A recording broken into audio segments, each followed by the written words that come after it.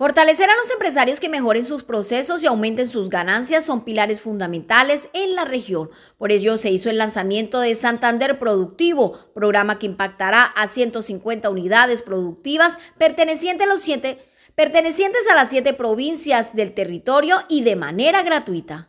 Queremos invitar a todas esas empresas de la provincia que hoy quieran abrirle sus puertas, aumentar esos niveles de innovación, de fortalecimiento de competitividad, de fortalecer todo lo que tiene que ver con su marketing, sus finanzas, abran las puertas al CPC de manera gratuita, agarren este programa que es muy bueno para que crezcan sus ventas, crezcan sus utilidades y crezca Santander. Santander Productivo 2.0 consta de cuatro etapas que son vinculación de empresas, definición del proyecto de productividad o innovación, implementación del plan de mejora y resultados, desarrollo de capacidades en proyectos de investigación, desarrollo e innovación.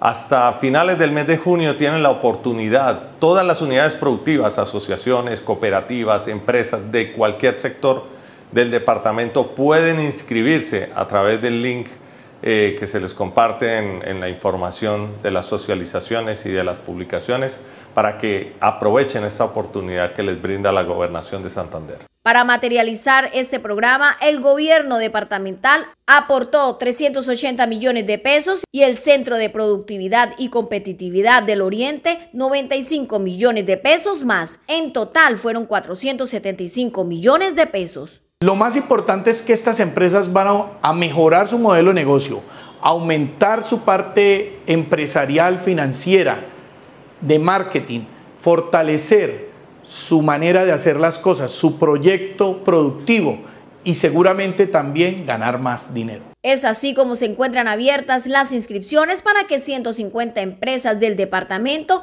puedan beneficiarse con este proyecto productivo.